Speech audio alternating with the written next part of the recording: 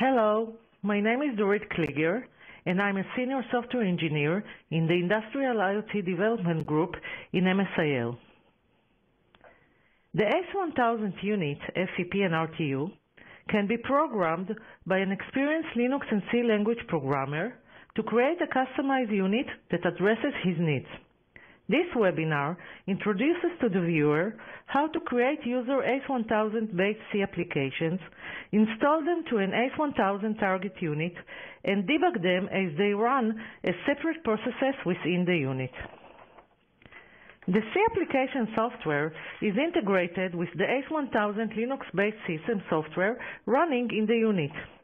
An integrated C application may use various system software functions that allow access to the CPU resources and unit database tables, scan of the I.O. modules, communication handshaking, and other system operation. Each C application downloaded to the unit runs as a standalone Linux process. A newly downloaded application replaces an existing file of the same name if such exists. Both Motorola Ace STS and ACE1000 Easy Configurator web tool include the option for downloading C application and associated C parameter files. A new C application starts its run as a separate Linux process once its download to the ACE1000 unit is completed successfully. A unit that completed its power-up runs all the C application previously downloaded to it. A C application can be made up of only ANSI C code, but in order to customize the ACE1000 unit operability, it should call various C toolkit APIs that are in fact Linux-based ACE1000 firmware services. A ready compiled and linked C application can be installed to the ACE1000 target unit using any one of these three options. Option 1, via a secure shell connection between an ACE1000 C Toolkit virtual machine to the target unit. Option 2, the ACE1000 Easy Configurator web tool. Option 3, the ACE3600 system tool suite known as STS. The ACE1000 unit has significant advantages as it is based on Linux operating system, and this impact on the development of C applications under the ACE1000C Toolkit, which is based on a Linux virtual machine environment. These advantages are the Linux virtual machine distributions can be downloaded and installed legally and freely on as many hosts as the user needs. Linux is easy and flexible for installing, reinstalling, backup, and moving. The user has the ability to manage allocation of flash and RAM memory resources in the ACE1000 unit, read and write files from and to an SD card in the unit's SD slot, and a flash drive attached to the unit's USB host port using Linux services. The application developers can acquire extensive support from the Linux open source community via web forums, mailing lists, and chats. There is a continuous bug tracking system that allows the developer file bug reports, get responses how to work around the fault, and be acknowledged when the fault has been fixed, and how to get the new version for free. As ACE1000 RTUs can be integrated into a system with other legacy MOSCAD or ACE products, these RTUs are fully compatible for communicating over Motorola MDLC communication protocol with the other products. The ACE1000 C Toolkit programming environment is based on Oracle VirtualBox virtual machine environment. A C application is coded, compiled and linked in this environment, and then installed in the ACE1000 unit for execution as a standalone Linux process among all the other system software Linux processes. Available to the programmer is the C Toolkit APIs library that provides extensive set of APIs such as read and write to and from the unit's database, physical I.O. values monitoring and manipulations, communication between MOSCAD and ACE RTUs in the overall communication network, communication with other user devices, and other system operations. The detailed installation procedure can be found under Installing the Oracle VirtualBox Virtual Appliance chapter in the C Toolkit manual, which is included in the Toolkit's archive.iso file provided by Motorola. The first step in the ACE1000 C Toolkit installation process is to download the Oracle VirtualBox Virtual Appliance version 4.3.10 from virtualbox.org website and install it on a Windows PC host with the free memory requirements as specified in this slide.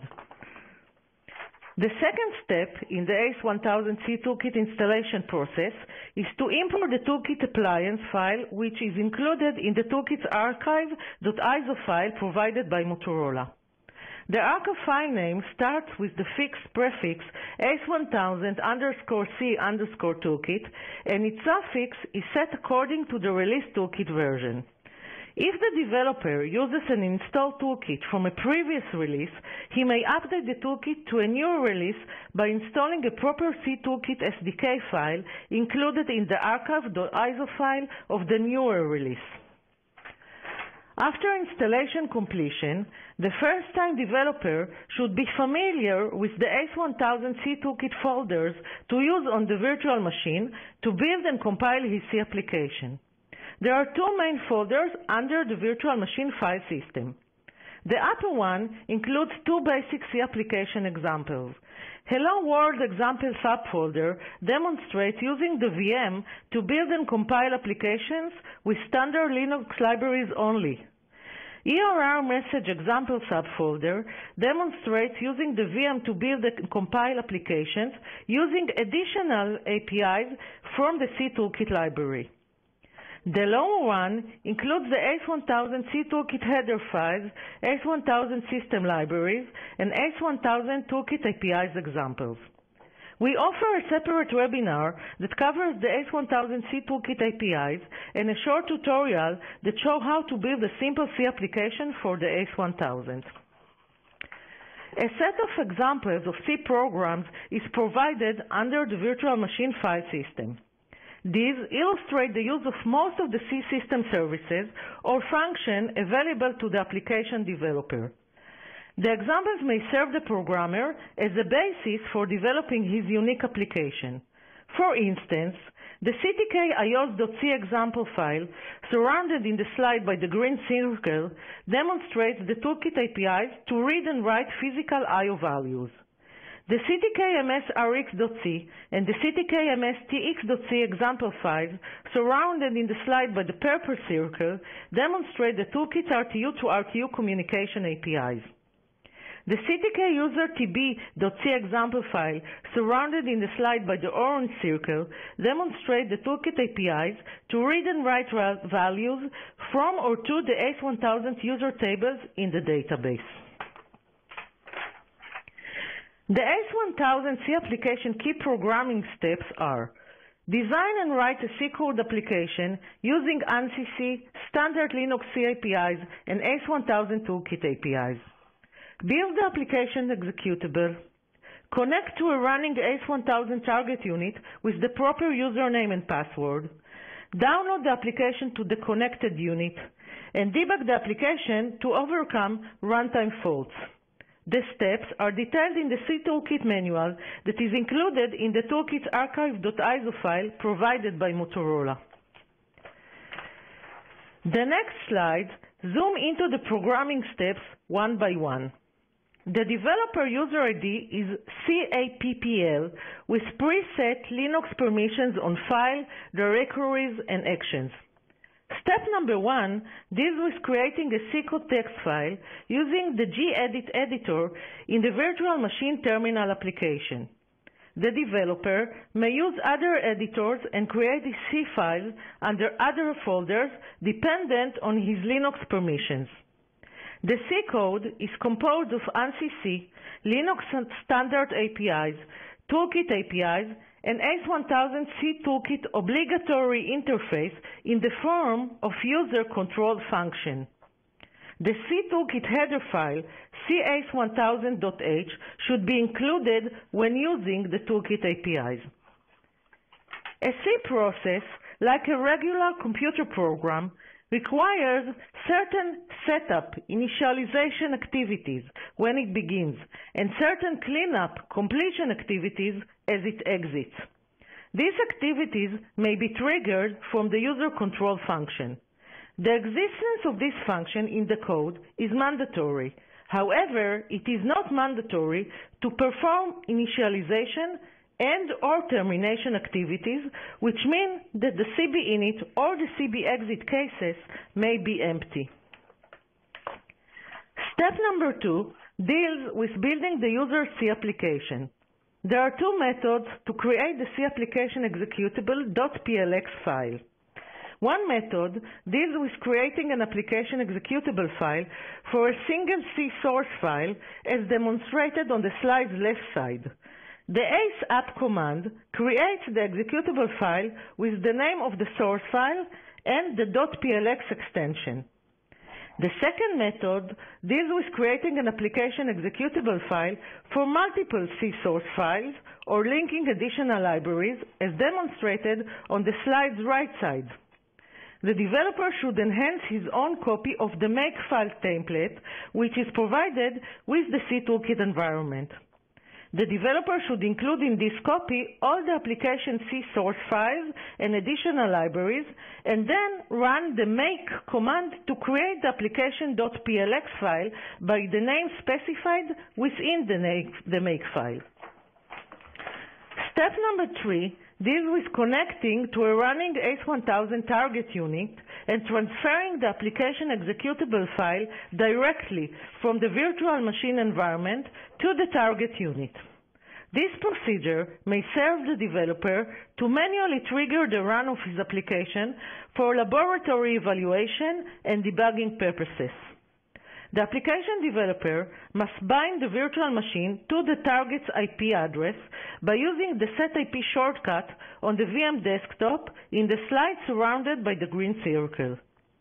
After a successful binding, use toACE command in the VM terminal window to transfer the application executable file to the target unit.